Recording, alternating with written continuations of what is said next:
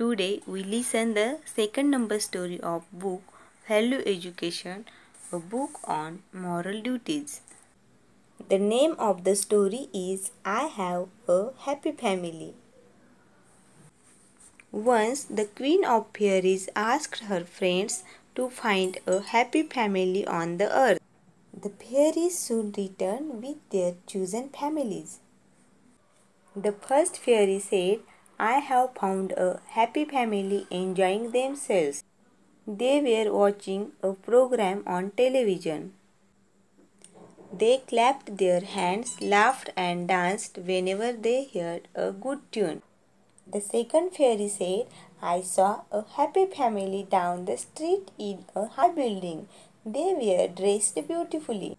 They were enjoying their dinner at a party. The third fairy said, I have also seen a happy family. The parents spent time with their children. The children chatted with their parents happily. The grandparents taught them how to be good and gentle.